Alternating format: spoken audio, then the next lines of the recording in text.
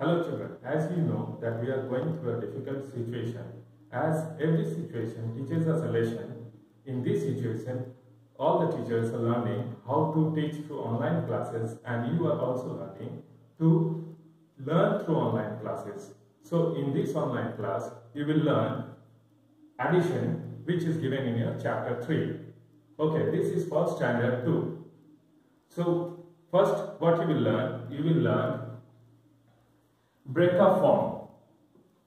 You will learn breakup form. So how to add through breakup form? How to add through breakup form? Let's take one example.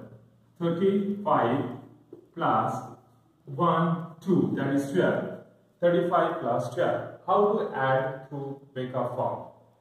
As you know, this is this comes under ones place and this comes under tens place. And this side, 2 comes under ones place and 1 comes under tens place. So see, 5 ones, 3 tens. Here 2 ones, 1 tens. Now how to break it up? As you know, 3 tens means 30 plus 5 ones means 5. Here 1 tens means 10 and 2 ones means 2. So see, 3 tens 30, 5 ones 5. 1 tens 10, 2 ones 2. So now first what we'll do, we'll add the tens one. That is 30 plus 10. And after that we'll write the place in ones place. 5 plus 2. 5 plus 2. So what will be the addition? 30 plus 10 means 40 and 1's place 5 plus 2 means 7. So what is the total addition you are getting? 47. So look 35 plus 12 gives 47. Now if you do in your mind how to add this, look 3 tens, 5 ones, 1 tens, 2 ones. First we will add 1's place. 5 plus 2 gives 7. So first we'll write in ones place 7. And now 3 plus 1, 4.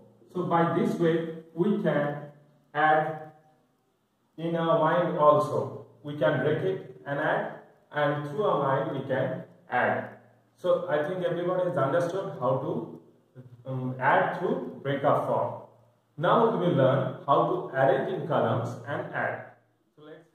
Now see how to arrange. For example, if I take 47 plus, this is addition with carry. So first I'll put 47 and then I'll put 13.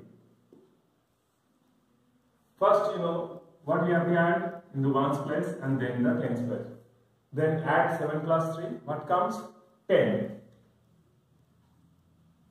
In 10, 0 comes under 1's place and 1 comes under 10's place. So, as it comes under 1's place, 0 will come here. And then where 1 will go? As 1 is under 10's place, it will be carried to 10's place. Now add 4 plus 1, 5 plus 1, 6.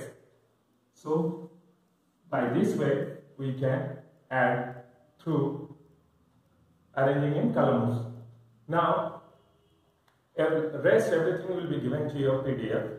You follow the PDF and you will understand what are the homeworks. Okay, thank you.